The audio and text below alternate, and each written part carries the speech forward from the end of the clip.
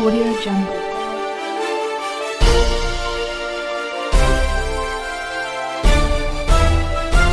Audio Jungle.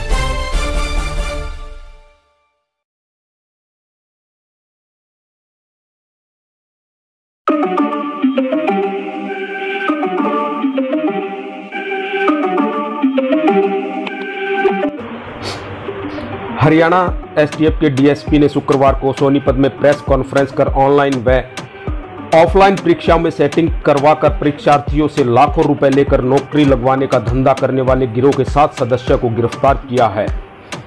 जिसमें से चार आरोपी हरियाणा के सोनीपत जिला से और तीन आरोपी राजस्थान के विभिन्न जिलों से शामिल हैं। एसटीएफ पुलिस के मुताबिक यह गिरोह वर्ष 2013 व 2014 से ऑनलाइन व ऑफलाइन परीक्षा में सेटिंग करके SSC, CHSL, MTS, railway clerk, NEET, IIT, सिपाही व इंट्रेंस परीक्षाओं में परीक्षार्थियों से लाखों रुपए लेकर परीक्षा को पास व नौकरी लगवाने का धंधा करते थे। अशोक उर्फ़ शोकी का नेटवर्क जयपुर दिल्ली हरियाणा पंजाब बिहार आदि राज्यों में बिछा हुआ है।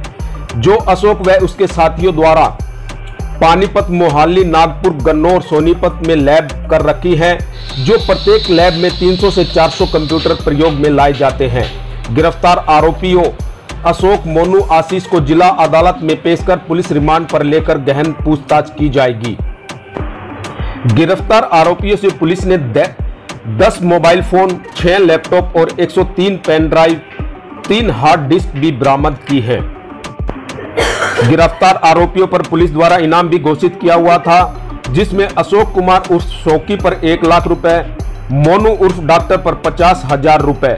पुलिस अब गिरफ़्तार आरोपियों से यह पूछताछ भी कर रही है कि आखिर अब तक वह रुपए लेकर कितने लोगों को अपना शिकार बना चुके हैं और गलत तरीके से नौकरी पाने वाले लोगों पर भी कार्रवाई की जाएगी।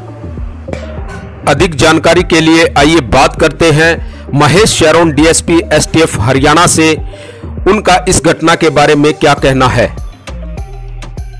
की है काफ़ी पैसा कमाने के बाद चल अचल संपत्ति भी काफ़ी बना रखी है।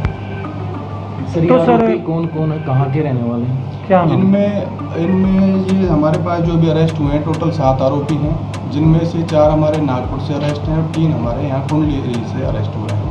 जिनमें से तीन जो आदमी हैं वो हमारे सोनीपत के गोरड गाँव के रहने वाले हैं। जिनमें से अशोक और सोकी जो कि पहले भी एक मामला भिवानी में दर्ज हुआ हुआ है उसमें मोस्ट वांटेड है हमारा। और इस पर इनाम भी है।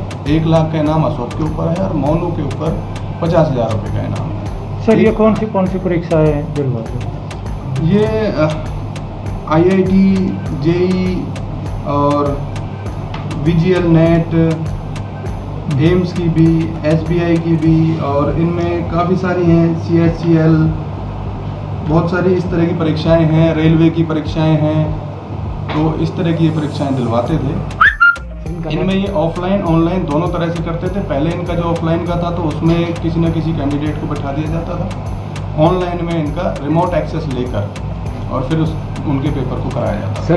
लैब्स हैं वो लैब्स काफ़ी जगह पे हैं। इनकी लैब्स महाराष्ट्र में भी हैं इनकी लैब्स नागपुर महाराष्ट्र से हम लेके आए हैं वर्धा में है यमुनानगर में है जयपुर में है दिल्ली में है। तो काफ़ी सारी मोहाली वगैरह में इनकी लैब्स हैं जिनमें ये सारा नेटवर्क चलाते हैं। सर क्या क्या बरामद हुआ? अभी इनसे हमारे को लैपटॉप बरामद हुए हैं। काफ़ी सारे छः तो लैप लैपटॉप हैं दस फ़ोन हैं करीब 130 के आसपास इनका पेन ड्राइव मिले हैं कुछ चेक मिले हैं। कुछ बहुत सारे लोगों की अलग अलग आईडीज़ मिली हैं इनके पास से और भी कुछ डॉक्यूमेंट्स हैं जिसमें से हमने कल तीन बंदों को आठ दिन के रिमांड पे लिया हुआ है। बाकी चार को हम आज पेश करेंगे उनका भी पुलिस रिमांड लेंगे। आगे इसमें जो भी इन्वेस्टिगेशन में और चीज़ें आएँगी उनके बारे में आपको अवगत कराएँगे सर प्रथम जाँच में क्या खुलासा हुआ है कि अब तक कितने लोगों को ये इस तरह से दिला चुके हैं? अब तक अ, करीब 400-500 लोगों को तो आराम मतलब इन्होंने ये एग्ज़ाम दिलाया है। कुछ लोग बाई चांस फेल हो गए होंगे अदरवाइज़ इन्होंने सारे काम अपने सक्सेस रेट रहा है इनका। अच्छा सबका काम है आपको हमारी वीडियो कैसी लगी कमेंट करके ज़रूर बताएँ। और अगर वीडियो अच्छी लगी तो वीडियो को लाइक शेयर और हमारे चैनल को सब्सक्राइब ज़रूर